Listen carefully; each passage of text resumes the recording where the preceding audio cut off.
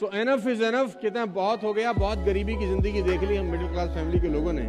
बहुत तकलीफें देख ली, पैसों को लेकर बहुत झंझट देख लिए, घर परिवार में लड़ाइयाँ देख ली, झगड़े देख लिए, पैसे को लेकर अपना आपको बार बार कंट्रोल करना भी देख लिया कि ये नहीं खाएँगे, ये महँगा है, ये नहीं खरीदेंगे क्योंकि ये महँगा है। इस अच्छी जगह नहीं रहेंगे क्योंकि यहाँ रहना महँगा है, ये गाड़ी नहीं चलाएँगे क्योंकि ये गाड़ी महँगी है।